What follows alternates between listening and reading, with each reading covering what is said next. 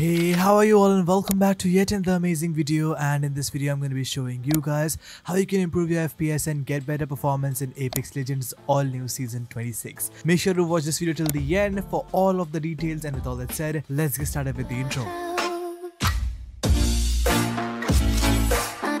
Alright, step number one is the best Windows settings and for that simply search for settings on your PC and then go down to gaming. Head over to game bar and turn this thing off since it is an overlay service it will consume a lot of your CPU resources. Once that is done, go back to gaming, head over to game mode and turn this thing on since it will optimize your PC by turning things off in the background to allow you get better performance. Click on the graphic settings right underneath and enable optimizations for windowed games as it will use advanced features to reduce input latency and then click on advanced graphic settings and set your default high performance GPU to AMD Radeon graphics or your native graphic card whichever you have installed on your PC. Just make sure that it is not system default because it can use your CPU based graphics which we do not want. After that click on the add desktop app button over here and go to the download location of your game.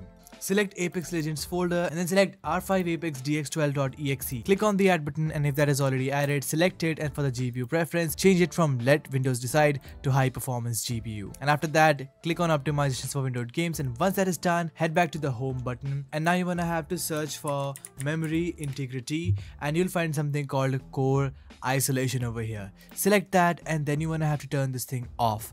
In most cases, this will help you to improve your FPS by a ton. Next tab is compatibility settings and for that, head over to the download location of your game. Once you're in the folder, right click on your game exe file and then click on its properties. Select compatibility and then you wanna have to choose disable full screen optimizations over here. This will help you to get rid of most of your input latency and black screen issues. Click on the apply button and close it. Next step is fixing all of your packet loss, ping issues and latency issues using Gear Booster. I have left a free download link right in the description below. Gear Booster is a free to use tool that helps you to tunnel your internet straight from your PC to the game servers without any hindrance, allowing you to fix packet loss, ping issues, latency and other network connectivity issues. It has a library of over 1000 games to choose from. Simply search for Apex Legends over here and select it. Select the nearest region to you that is southeast for me and it will start one click boosting the game.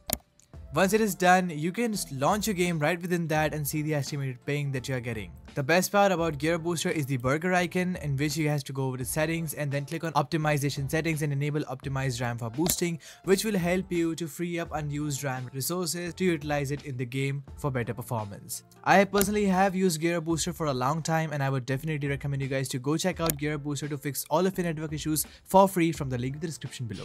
Next step is disabling unwanted background applications and for that search for local group policy editor and simply open it up.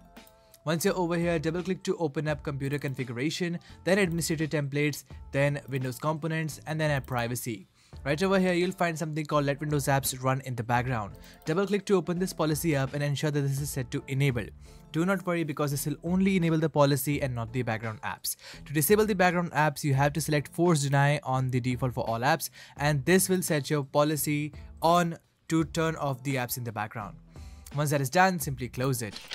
Next step is deanimating windows and for that simply search for adjust the appearance and performance of windows and once you're over here you have to set this thing to custom and disable everything except save taskbar thumbnail previews, show thumbnails instead of icons, show window contents while dragging and smooth edges of screen fonts. These four options will help you to keep the basic minimal look of your windows intact while disabling every single one of the unwanted animations on your PC. This will help you to improve the performance of your PC and might not help you to gain extra FPS but will make your windows smoother. Next step is creating a restore point and for that simply search for create a restore point on your PC and select your local disk C. Click on the create button and name it Apex so you can remember it. I highly recommend you guys not to skip this step if you want to restore all of your settings back to normal without any kind of data loss. Once that is done, simply click on close and close system properties. Next step is the Apex Legends Season 26 FPS pack. I'll be leaving a link to this right in the description below. You guys can simply download it from there and you will find in 5 very simple folders over here. The first one is CPU priority which contains DWORD values to optimize the performance of your CPU based on what CPU you're using. So if you have an AMD CPU you can double click and apply the AMD CPU priority and if you guys have an Intel CPU you can double click and apply the Intel CPU priority. Once that is done, head over to the second folder which is Apex Legends priority in which I have left high priority above normal priority and normal priority. To apply them, you need to leave your PC specs down in the comments below and I'll be telling you guys which priority you need to choose right over here. The third folder is RAM optimization in which I have left a ton of registries according to your PC's RAM. I use 32GB RAM so I need to apply this registry over here. It could be different for you so you can apply it according to your PC and once again I have left a reset to default registry over here just in case anything goes wrong. The fourth folder over here is disabling unwanted services on your PC which is really useful. What you guys have to do is simply double click and disable every single one of these registries over here because they are absolutely useless and they are being run in the background consuming your CPU resources.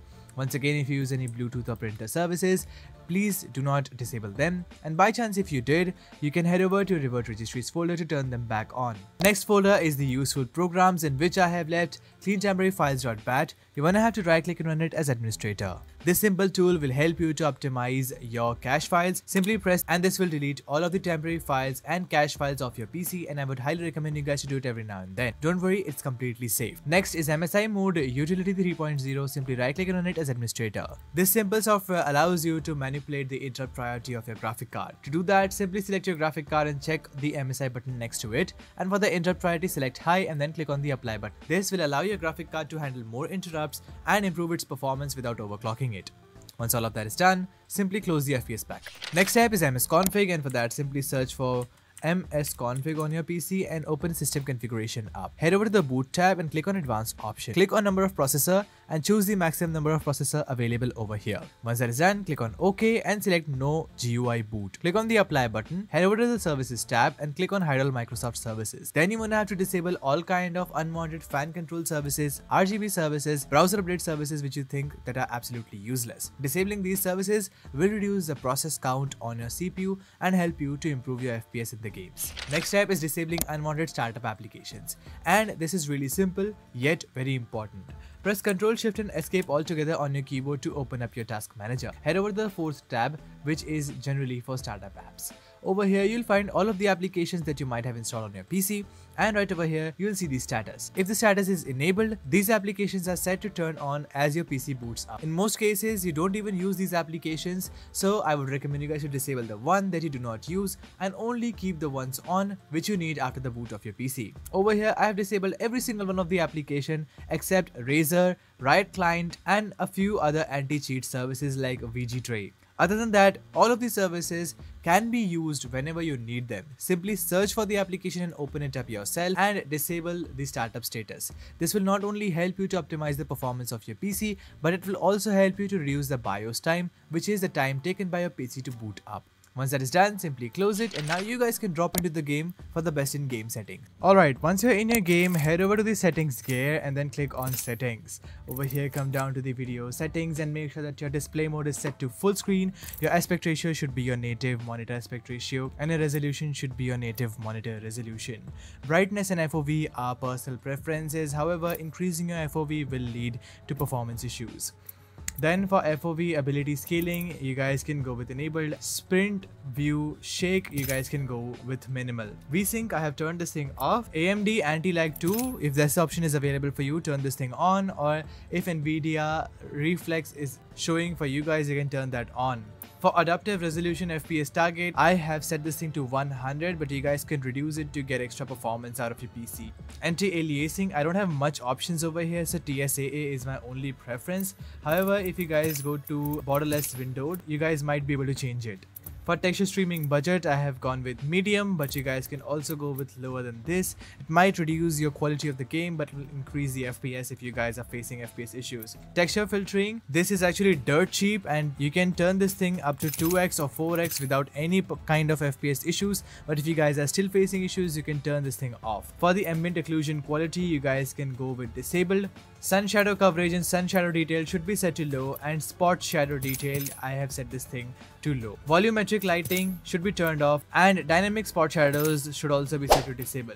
Model detail is set to medium, map detail high, effects detail and impact marks are low and disabled. Once that is done, press the apply button and now you guys can drop into the game with the highest FPS possible. So that was it for this video guys. I hope I could have helped you out. If I could have, make sure to do leave a like and smash that subscribe button because we are really close to 250,000 subscribers. I really trust you all and will see you in another amazing video. Until then, stay tuned, keep watching BareFox and peace out.